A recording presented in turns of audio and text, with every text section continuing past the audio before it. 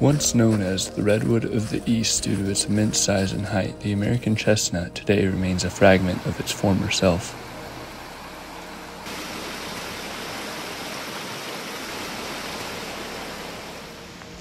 Currently at the start, trailhead to the uh, Mingus Creek Trail.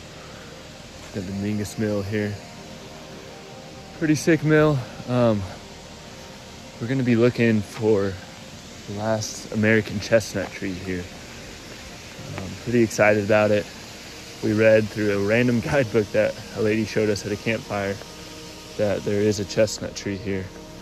Um, 4.7 miles up the trail, so around 10 miles total. Um, we'll see. See how it goes. The Mingus Mill, built in 1886 and owned by the Mingus Floyd family, cost $600 back then, or rather 3 million adjusted for inflation.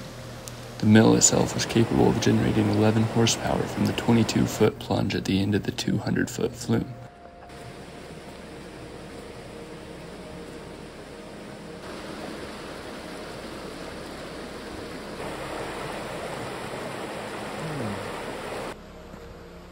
The relished chestnut trees would frequently reach 100 feet in height and an incredible 10 feet in diameter.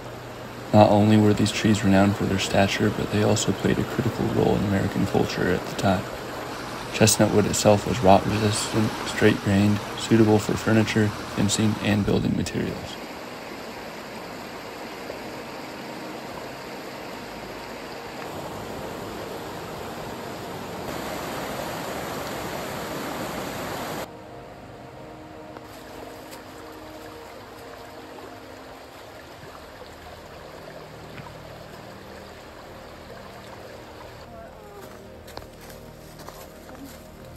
Many Native American tribes, such as the Cherokee, viewed the chestnut as inextricable and would burn and clear their forests in order to create a more conducive habitat for their growth. However, in the early 1900s, tragedy struck when Oriental chestnuts were introduced to the United States from overseas for horticultural purposes.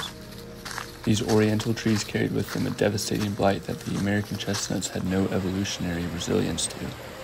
In a matter of 40 years, the American chestnut's 40 million year existence vanished from the face of the earth. The new fungal disease would essentially girdle the tree's trunks and cut off the flow of nutrients to the tree above, thereby killing them.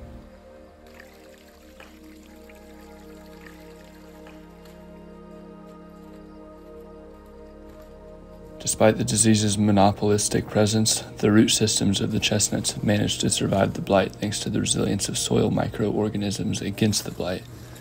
Each year, these root systems will desperately attempt to shoot up a new sprout only to eventually be killed off by the blight within a few years.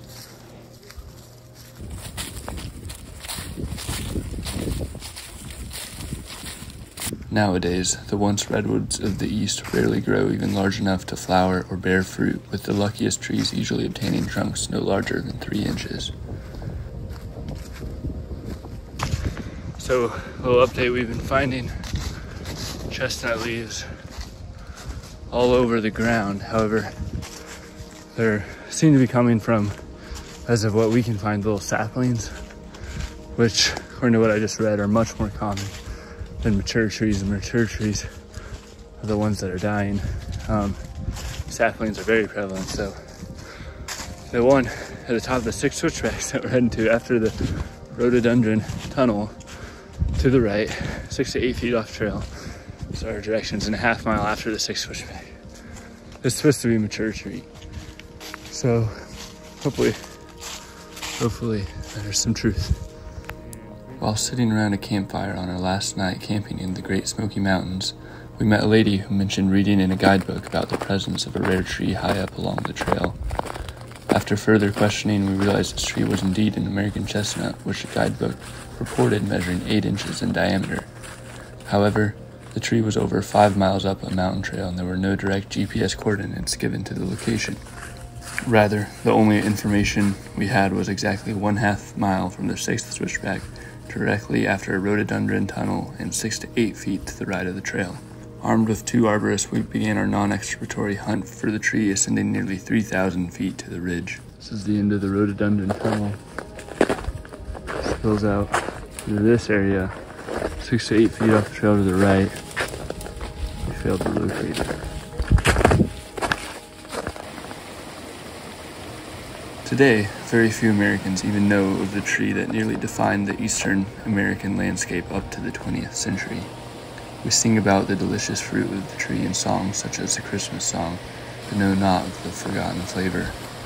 Though the situation does seem hopeless, there are a few people desperately attempting to revive the nearly extinct tree.